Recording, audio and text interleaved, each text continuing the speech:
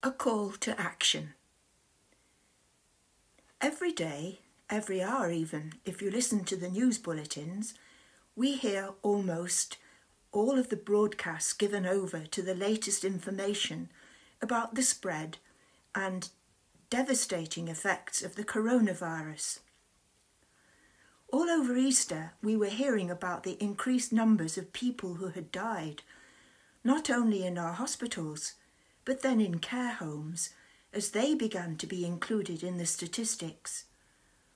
Then, as the lockdown continued, alongside wonderful stories of heroism and self sacrifice, serious questions were and are being asked about the way our government is dealing with the crisis, about the inadequate number of tests and shortages of protection equipment for care workers as well as medics.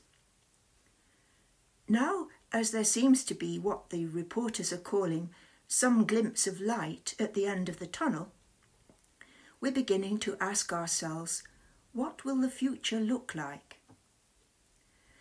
But as we move on here in the UK and Western Europe, the deadly virus is now spreading in other parts of the world, our world, to countries where they do not have the healthcare systems that we can rely on.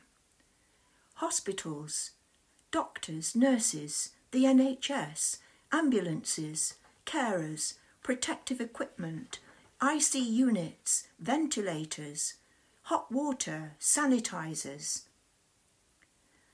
There, people live in crowded conditions where it is impossible to maintain social distancing, where there are no food banks, no plentiful sources of clean water for hygiene and sanitation, in city slums, in refugee camps, in remote villages. In Sierra Leone, there are no ICU beds. In South Sudan, they have only two ventilators for 12 million people. So, what can you do? You could use your computer or iPad or tablet to visit cafod.org.uk forward slash coronavirus. You will find a call to action there.